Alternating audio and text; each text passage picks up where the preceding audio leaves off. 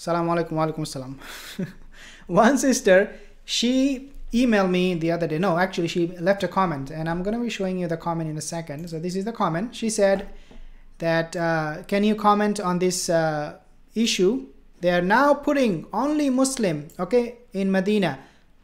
That, sorry, uh, they are not putting only Muslim. They, this was only Muslim sign before, but now it said that the signboard was changed and now they are saying that anyone not only just muslim but uh, any non-muslim can enter into medina. This is the sign okay as you can see to haram area. Medina haram area.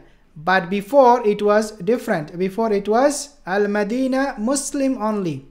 So uh, she uh, sent me this uh, email, um, comment. She asked me to make a, make a comment. She said that brother there was muslim only sign before. Now there is no muslim only sign. In fact you can just enter whoever you are. So this is happening. What uh, can you make commentaries uh, dear brothers and sisters i made a video before showing how statues are being uh, worshipped in medina. So this is not something new. Uh, they have uh, con concert. They have uh, movies music a lot of other things happening right now in Saudi Arabia.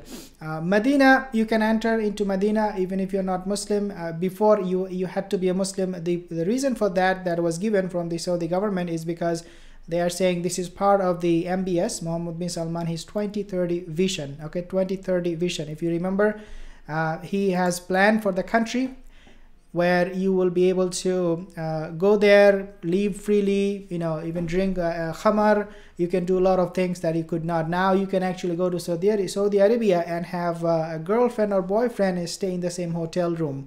Before, I think you had to show that you are married, but now you do not have to do that. So these are all happening part of the 2030 vision.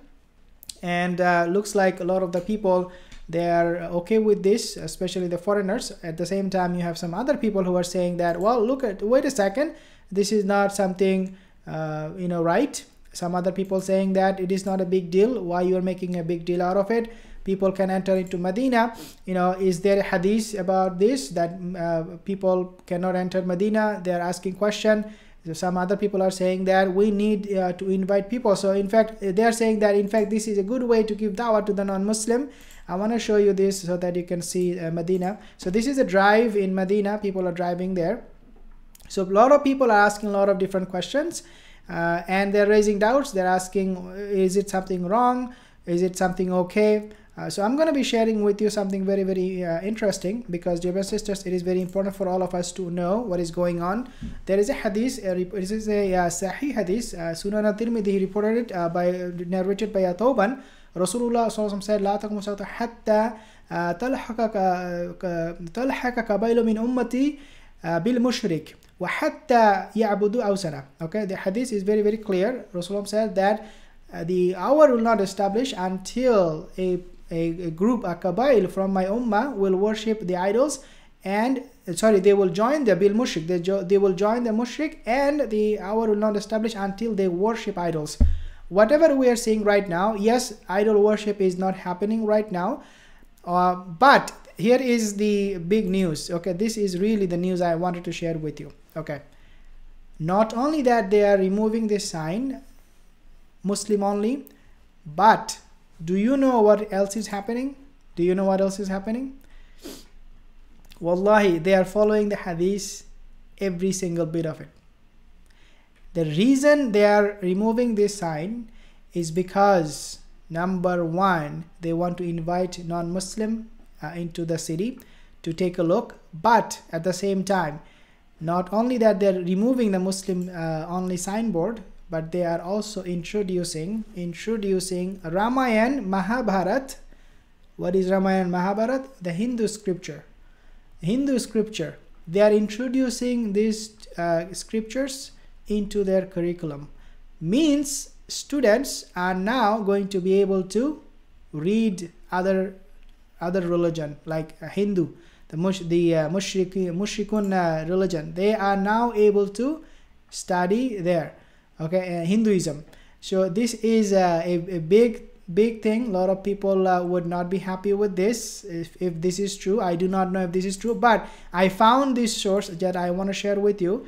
Uh, in this source as you can see um, that they are now actually uh, making uh, this part of the vision 2030 of mbs and not only that they are also the they are also modernizing the um, the country and students will be taught Ramayana and Mahabharat.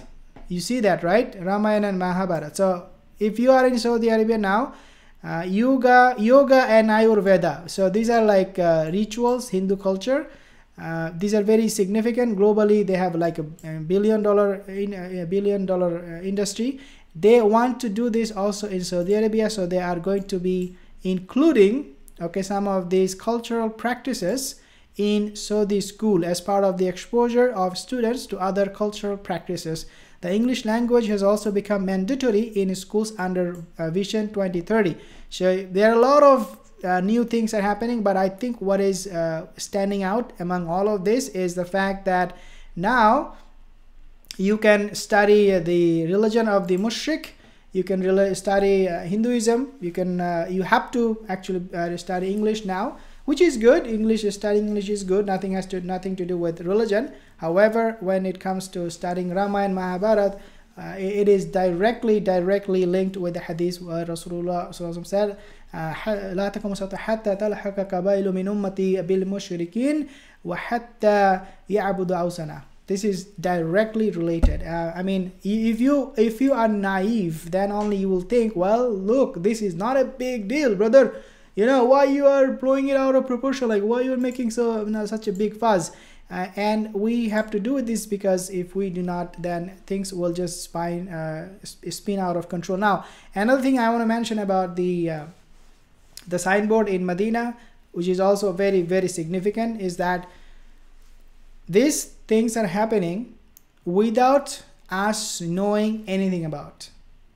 Okay these things are not happening with the in other words with the consent of the muslims. The muslims are completely unaware. Medina mecca if you bring any changes in in these two cities you must consult with the scholars you must talk to the muslim ummah you must make this open you must let everybody know what is happening. Why? Because these two cities are relevant to all the muslims we don't care about saudi arabia in general but when it comes to these two cities and also Baitul Maqdis, uh, Jerusalem, Al Quds, we must know what is happening. We know, dear sisters, at the same time that they have normalized ties with the Yahudi uh, I mean, Saudi Arabia oh, outwardly they are saying no, we did not. But I mean, in the back of the you know scene, we will see that a lot of business dealings are happening because, okay, if you want to make your country prosper the reason uae okay they went to into this uh, normalization of relationship with the yahudi is because of money. Because of money allah Azawajal mentioned uh, that uh, that you are indeed violently in love with, with money. Okay, Allah Azza mentioned in the Quran the nature of human being that you indeed love your wealth violently. So UAE is get, getting into this relationship because of money. Saudi Arabia has no choice. Okay, I'm telling you. Saudi Arabia, Saudi Arabia will have no choice but to normalize ties with the Yahudi today or tomorrow. It might come a little bit later. The announcement will come a little bit later, but they already did it. You know, you can, in fact, the Yahudi Israeli plane can use Saudi airspace.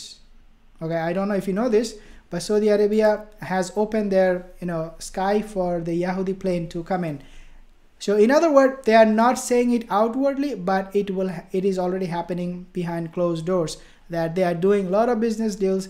There is nothing called Saudi Arabia. There is nothing called uh, you know Israel these are all the same okay these are all part of the same system that would just crush anything on its way you and I stand no chance okay? We we are just completely tied up.